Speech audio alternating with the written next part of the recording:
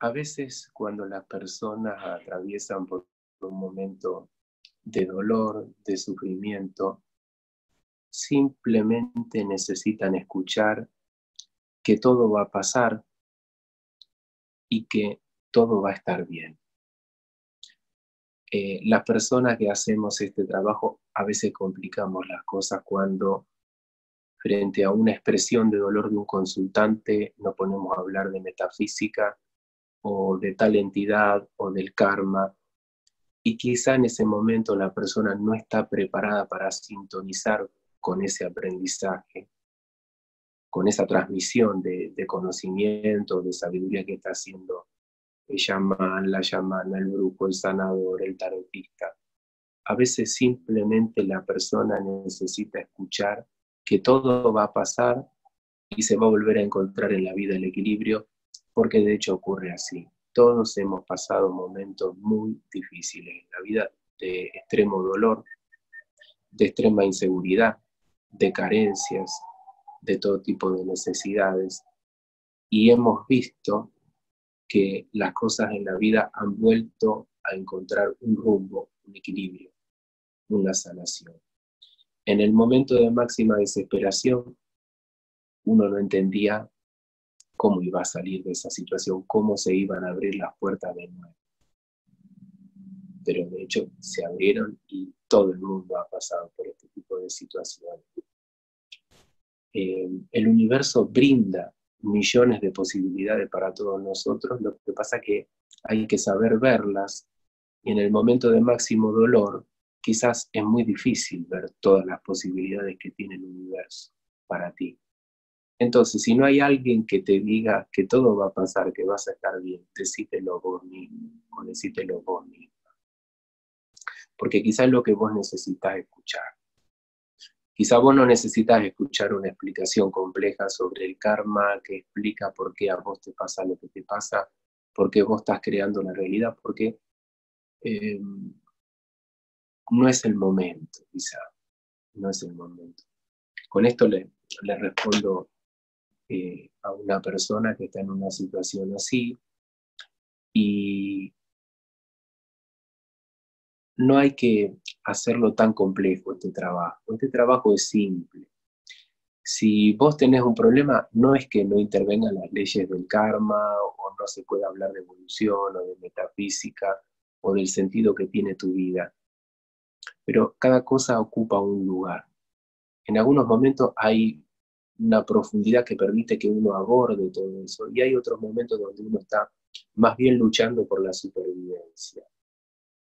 ¿Qué sería la supervivencia? El equilibrio, el equilibrio mental, emocional de tu cuerpo, que tu vida no colapse. No colapse en todo sentido. ¿eh? No estoy hablando del colapso físico, también el colapso mental, que es la locura, que es la pérdida de la cordura y, las emociones que que se desbordan todo va a estar bien. Ahora, por supuesto que hay que emprender otros pasos, pero los pasos son despacito, es en todo caso paso por paso, cada día hay que hacer una pequeña cosa para empezar a sentirse bien. No pretender hacer un cambio en 24 horas que te pase a ti de estar en la desgracia, en la desesperación absoluta, a la felicidad y la plenitud y la iluminación, porque no va a pasar eso. Pero sí pequeños cambios que, primero, que te ayuden a mantener el, equilibrio quizá precario que tú estás teniendo, que tú empieces a sentir que todo va a pasar, que tú empieces a, a conectarte con sentir cosas positivas. El universo tiene algo para mí en esta vida, hay millones de posibilidades, me tengo que poner positiva, me tengo que poner positivo, quiera sea el género de la persona que esté viendo ahora este video, eh, tengo que buscar cosas, a ver, voy a ver videos de este, del otro, voy a ver qué saco. Bueno, vi 10 videos, saco solamente una cosa que dijo una de las 10 personas, las cuales vi 10 videos. Eso me sirve para hoy estar un poquito mejor y mañana sacas otro poquito y mañana, pasado, perdón, otro poquito. Y ese poquito tiene que servir para cambiar ciertas actitudes, cierto pensamiento del día de hoy Supongamos que vos chequeas que en tu mente solamente pensás obsesivamente de dos o tres cosas, en dos o tres cosas, porque cuando uno está mal y, y está en una situación de angustia extrema, siempre se piensa en una, dos, tres cosas, no se piensa en 20 cosas distintas. Siempre tiene que ver con un ex o con una pérdida profunda, con una gran desilusión. Entonces, alrededor de eso gira el pensamiento que arrastra emociones, que lleva emociones y por supuesto moviliza tu energía.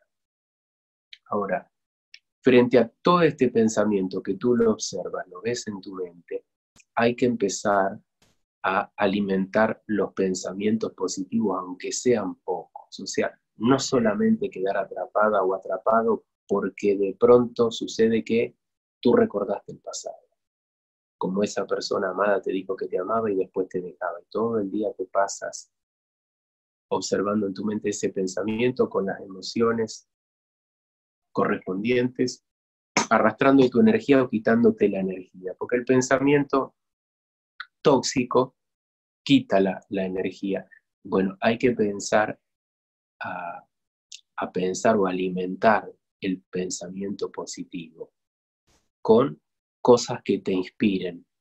Eh, si tú estás viendo videos que tienen que ver con respecto a una nueva vida, un nuevo comienzo, un cambio, una transmutación, hay que intentar llevar el pensamiento por ahí. ¿qué, planes puedes reelaborar para tu vida? No puedo reelaborar ningún plan, Rodrigo. Bueno, hay que empezar por pequeñas cosas. Recitado de mantras, algunas pequeñas meditaciones, pequeñas visualizaciones que se pueden encontrar en cualquier lado, con las que, une, con, las que uno conecte. Pero empezar a hacer girar la rueda de la sanación o de la transformación, con pequeñas cosas todos los días, pequeñas cosas positivas que vayan introduciendo pensamiento positivo, emociones positivas, simplemente con que usted empiece a tomar conciencia de que usted es amor, por ejemplo, a través del mantra yo soy amor, sentir este mantra, repetirlo mentalmente a lo largo del día. El trabajo con mantra, con los mantras es muy sencillo, muy sencillo en el sentido de que uno lo puede abordar a pesar de estar mal.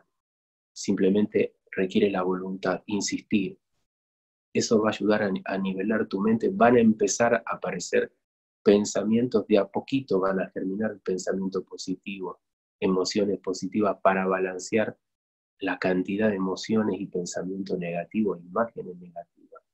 Por supuesto que todo este es un proceso que arrastra la energía de acá para allá, la energía sube, baja, logras un poco de equilibrio, después lo pierdes, después empiezas a pensar con enojo, con coraje, tu energía sube, y después caes agotado porque ese subidón de energía, porque te dio coraje, porque te dio ira, lo que pasó en tu vida, después te, te, tira hacia abajo, te da un colapso, te pones triste, te viene la depresión. Hay que insistir con, con repetir un mantra. Yo soy amor, por ejemplo, ¿no? Puede ser un mantra en otro idioma, puede ser un mantra inventado, pero la repetición de mantras va haciendo que la mente empiece a sintonizar el equilibrio. Por supuesto, de estas cosas eh, creo que tenemos que eh, hablar, eh, o perdón, de estas cosas es interesante que hablen las personas que la han pasado mal. Yo la he pasado mal en la vida, por eso digo estas cosas así. O sea, me han pasado cosas fuertes, lo mismo que a casi todos, y al que no le pasó, le va a pasar de un momento a otro. La vida no es un jardín de, del Edén o, un mundo de Edén. El mundo tiene momentos hermosos, momentos difíciles, momentos de carencia, momentos de prueba, y todo es un aprendizaje. Y es muy importante uno ir desarrollando herramientas para ir llevando adelante la vida de la manera más eficiente posible, más saludable.